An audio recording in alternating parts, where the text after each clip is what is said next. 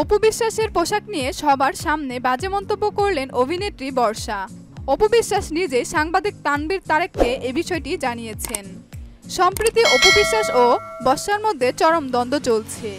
একজন অপরজনকে ছেড়ে কথা বলছেন না। অপু বিশ্বাস জানান তার পোশাক দেখে বর্ষা ও অনন্ত জলিল বলে কি বাজে পোশাক পরেছো? অপু বিশ্বাস কথা নিজেই স্বীকার করেছেন। সেদিন অনেক লোকের মাঝে এমন কথায় অপমানিত হয়েছেন অপু বিশ্বাস এরপর থেকে বর্ষা অনন্ত জলিলের সাথে অপু বিশ্বাসের সম্পর্ক নষ্ট হয়ে যায়। এবার অপু বিশ্বাসের সেই অভিযোগ নিয়ে অনন্ত জলিল এবং বর্ষাকে প্রশ্ন করা হয়েছে।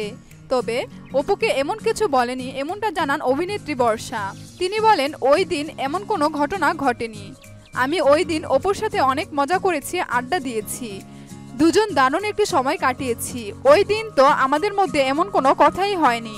ওই দিন তো অপুর সাথে আমি খুব গসিপ করলাম আমরা হাসাহাসি করলাম দুইজন ছবি তুললাম। ওই দিন তো এরকম কিছু হয় না। অনন্ত জলিল অপু বিশ্বাসের এই অভিযোগ অস্বীকার করেন। সম্প্রতি একটি প্রোগ্রাম বর্ষাকে নকল করে কথা বলেছেন অপু বিশ্বাস। যে ভিডিওটি হয়ে যায় ভাইরাল। হ্যালো বন্ধুরা আমি এখন আপনাদেরকে ইলিশের কোরমা দেখাবো। ইলিশের অপুর ওই ভিডিওটি দেখে বর্ষা নিজেও কষ্ট পেয়েছেন বলে জানান। এরপর বর্ষা অপু বিশ্বাসের বিয়ের প্রেগনেন্সি লুকিয়ে রাখা নিয়ে চরমভাবে অপু বিশ্বাসকে কটাক্ষ করেন।